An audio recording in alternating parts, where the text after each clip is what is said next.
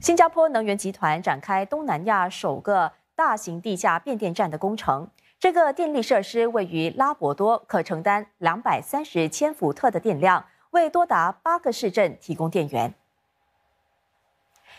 建造新的拉伯多地下变电站可省下三公顷土地，也就是相等于四个足球场的面积，充分的利用有限的土地资源，这也能降低变电站遭侵入或是破坏的风险，加强资产和网络安全。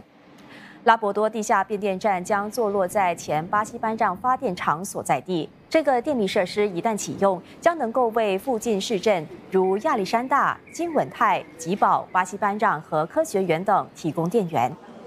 变电站的建筑合约由韩国现代工程建设公司标得。能源说，占地面上还将建设一栋三十四层楼高的商业建筑。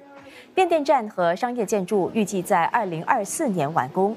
拉伯多地下变电站是社区重建局二零一九年发展总蓝图的一部分。